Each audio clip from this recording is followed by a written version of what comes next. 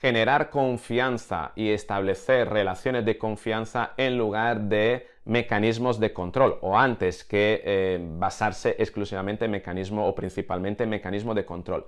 Basarse más en la confianza que en el control. ¿Qué significa esto? Significa que en tus procesos, en tus tomas de decisiones, en tu funcionamiento, si eh, ese funcionamiento implica relacionarte con los demás, esas relaciones tienen que estar basadas en la confianza. En la medida en la que tú estás invirtiendo tiempo en controlar, ¿vale? Y, en poner en tela de juicio eh, los planteamientos ajenos, ¿no? Estarás poniendo mecanismos, estarás poniendo trabas al proceso.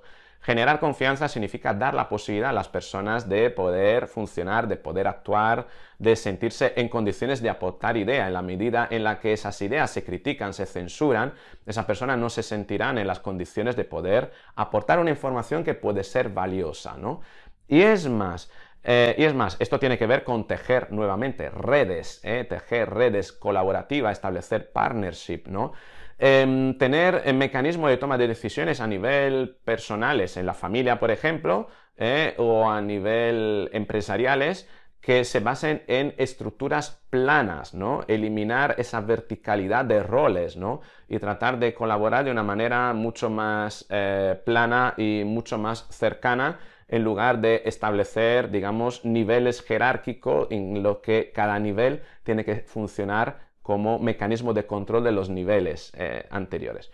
Si invertimos tiempo en controlar, en, eh, al final lo que estamos haciendo es burocratizar, ¿no? Y, claro, ¿qué significa burocratizar? Significa generar una serie de normas y procedimientos de actuación que llevarán a la persona al final a poner la norma por delante y el cumplimiento de la norma por delante como elemento principal en lugar de basarse en la confianza. Y eso se ve muchísimo en la administración pública, ¿no? La administración pública que funciona en base a protocolos y sistemas donde todo está muy burocratizado, muy controlado, donde hay sistemas de control a todo nivel, hace que los mecanismos de toma de, toma de decisión se vuelven muy rígidos, hay mucha desconfianza, ¿vale? Porque se está constantemente valorando hasta qué punto una persona, una decisión está cumpliendo con una serie de, de condiciones.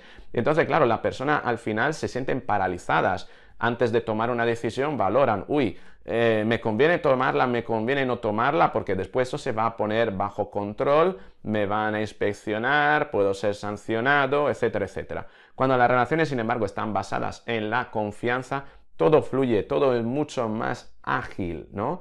Y claramente, al fluir la información, fluye también, eh, fluyen también los elementos que nos permiten valorar hasta qué punto estamos funcionando adecuadamente o estamos em, entorpeciendo, ¿no? entorpeciendo eh, eh, el, sistema, entorpeciendo los mecanismos y entonces hemos de recular y hemos de cambiar de planteamiento. Piensa en este aspecto lo importante que es entonces establecer relaciones sanas, ¿eh?